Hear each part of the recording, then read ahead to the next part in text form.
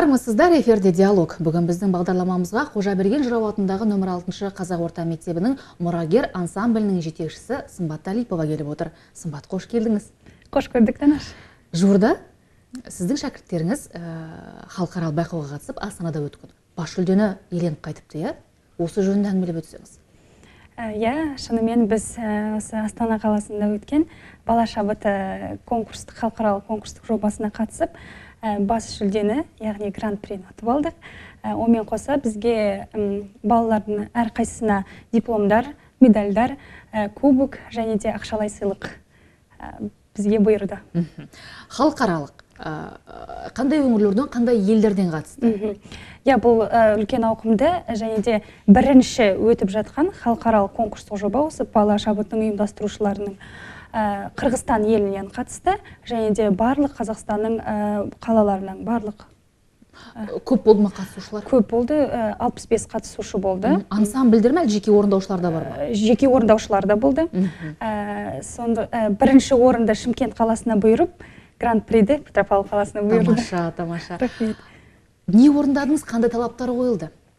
Талаптар қойылды. Ең біріншіден күй орындаған кезде музыкалық болу керек. Өзінің айтып жатады ғой артистизмнің өзінің актерлік қабілетін көрсете білу керек.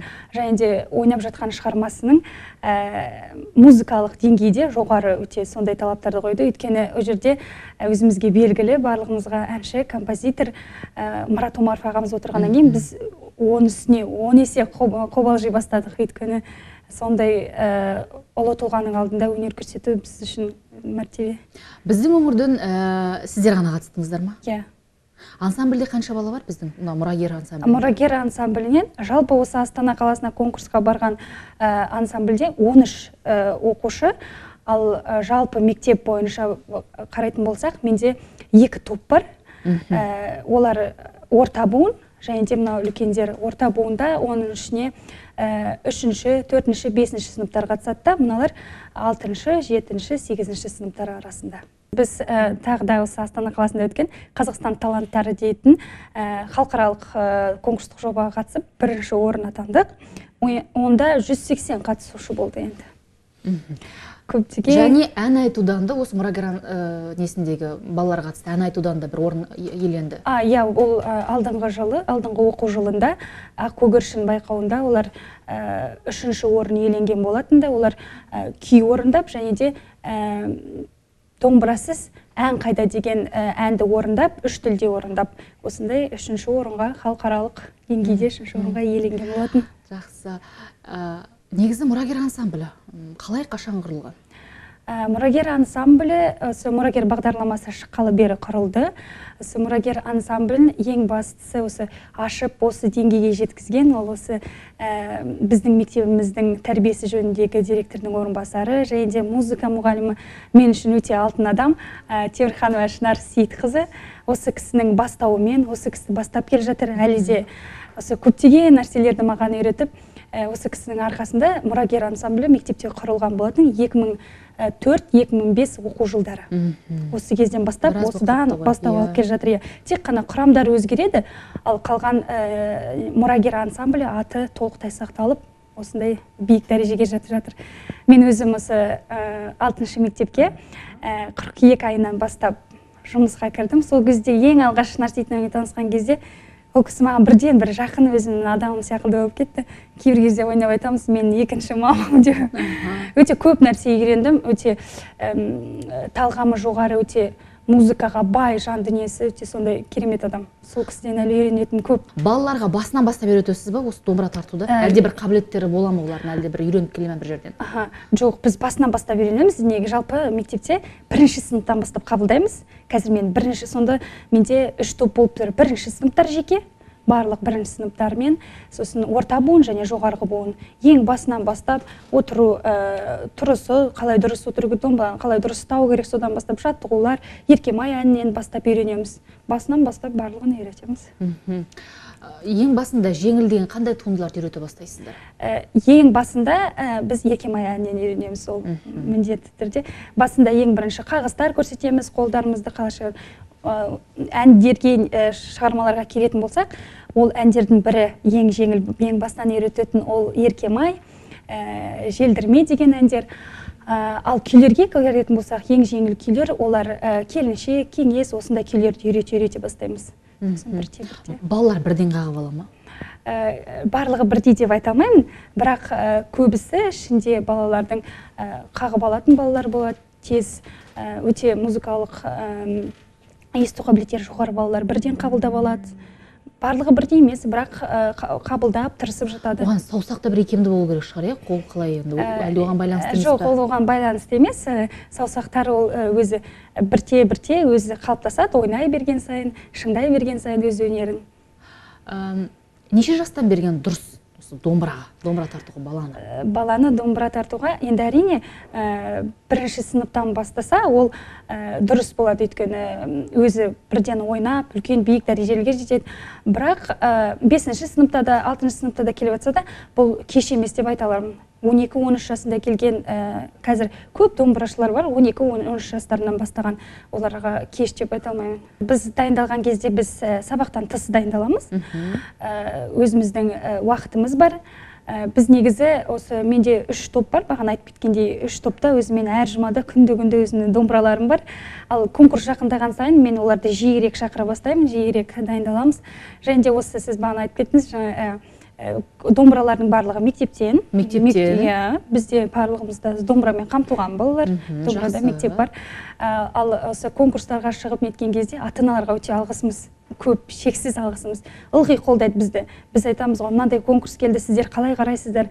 Біз ә, шықсақ барып көрсетсек өнерімізді десек ата аналардың барлығы бізді қолдап осы ата аналарға алғысымыз шексіз. Өйткені көп ата аналар кішкене айтып жатады ғой. Мүмкін қоя тұрамыз деп біздің ата аналар иә шықсын Белсенді қолдайды, иә? белсенді қолдайды иә. Қанша уақыт дайындалып бірден байқауларға ұсынасыз балаларды? Қанша уақыттың ішінде домбыра тартуға үйретіп алуға болады? Ең басынан мысалға бірінші сыныптарды біз мынау жарты жылдың ішінде олар еркемай әнін үйрен- үйренді. Өйткені олар ә, білімсіз ғой. Музыкалық ешқандай білімдері жоқ. Сондықтан да оларға қағыстарын ең алдымен осы ә, бір ай өз қағыстарын үйретіп төмен қалай қағыс ұру керек жоғары асықпай санап деген секілді бірте бірте сонан кейін үйрене бастайды. Ал біз конкурсқа дайындалған кезде орта буынмен бізге бір ай жеткілікті бір ай көлемінде. Енді сіз жуырда ғана келген екенсіз иә? Осы қыркүйек айында өзіңізге сізбен таныссақ иә? Сіз бұған дейін қай жерде білім алдыңыз? Мен көкшетау қаласында білім алдым. Ә, көкшетау қаласында ә, жанайдар мусин атындағы педагогикалық колледжінде музыкалық білім беру бойынша ә, домбырамды ә, домбыра классын тәмамдадым музыкалық білім оның алдында домбыра мектебінде бітірдім енді қазір ә, енді ә, нөмір алтыда қазір балалармен жұмыс істеп жатырсыз ғой. Жалпы балалардың домбыра тартуға деген қазіргі балалардың құлшынысы жайлы не айтар едіңіз? Қазір ә, білмеймін мүмкін мен өзім жас болғасын ба маған балалардың барлығы домбыра тартқысы келіп тұрған сияқты. Шынымен солай. Ә, мен өзім ә, білмеймін келгелі маған барлық барлық балалар әсіресе бесінші сыныпта келіп тәте біз домбыраға келейікші тәте біз домбыраға келейікші деп бір сондай бір құлшынысы пайда болды. Және мен бір өте бір қуанғаным. Ә, алтыншы ә, бесінші сыныпта бір ата ана келіп маған айтады сіз келгелі дейді «м, менің балам прям домбыра тартайыншы домбыра тартайыншы үйге келеді да дейді сабақтан бірден домбыра ойнайды мен соған өте қуанышты болдым. Ә, сондықтан да қазіргі кезде балалардың домбыраға құлшыныштары өте жоғары деп ойлаймын. Мен балаларға әдетте айтып отырамын домбыра сіздерге ә, ешқашан да артық етпейді. Ол қайта сіздердің мысалға сіздерге міндетті түрде музыкалық біліммен музыкамен баруға міндетті емес. Өздеріңізге бірге ә, барған жерлеріңізде өз өнерлеріңізді көрсетіп отырасыздар деп сол кезде қуанып отырады. Иә тәте деп домбыра тарту жалпы ағзаға да пайдалы дейді иә? Ол туралы хабардарсыз ба? Мидың жұмысына пайдалы дейді оқушыға мысалы. Ә, шынымен ә, ол ағзаға пайдалы. Өйткені ә, барлық осы ойлау ойлау қабілетіне бірден өйткені ә, күйлерді барлықтарын ойнап жатқан кезде естіп отырады ойлап отырады. Ана жерде қалай мен қазір мына жерде вибрациямен ойнаймын мына жерде ә, пицциката алып ойнаймын деген сияқты. Және де қолдарын жаттықтырады. Сіздер тағы да бір көктемде өтетін бір байқауларға дайындалып жатыр дейді. Иә ә, бізге тағы халықаралық конкурс келді. Ақ көгершін деген осы мен алдымда да жұмыс істеген музыка мұғалімдері осы шынар сейітқызы олар ылғи осы конкурсқа барып ә, жүлделі орындармен қайтқан болатын. Тағы да осы конкурсқа бізге шақыру келді. Ақ көгершін деген соған дайындалып жатырмыз. Және де одан басқасы осы бала шабыты жақында осы бала шабытының ұйымдастырушылары бізге арнайы инстаграм желісі арқылы жазып жіберіпті. Бізді ә, жұлдыз, болашақ жұлдыздар атты халықаралық конкурсқа тағы шақырып жатыр жиырма бірінші наурызда. Жақсы тамаша. Осы бала шабытында жаңа бас жүлде иеленген бала шабыты байқауында қандай туындылар орындадыңыздар? Сіздер қандай неше туынды орындадыңыз? Кімдердің туындыларын орындадыңыздар бізге талап бір ақ қана шығарма болу керек еді. Біз соны орындадық. Біз біз абдулхамид райымбергеновтың ә, секіртпе күйін орындадық. Ә, өте сондай ә, жеңіл ә, және құлаққа жағымды ә, адам тез шаршап қалмайтын сондай күй таңдауға тырыстық. Өте сәтті шықты деп ойлаймыз. Содан бір үзінді бізге ойнап берсеңіз. Біздің қоржынымызда тек қана осы абдулхамид райымбековтың секіртпе емес одан басқа көптеген, көптеген күйшілердің күйлерін орындаймыз. Мысалға атап өтсем қазанғап халық күйлерін құрманғазының күйлерін ойнаймыз. Қазір мен сіздерге осы қазанғаптың шыны аяқ тастар деген күйін орындап берейін.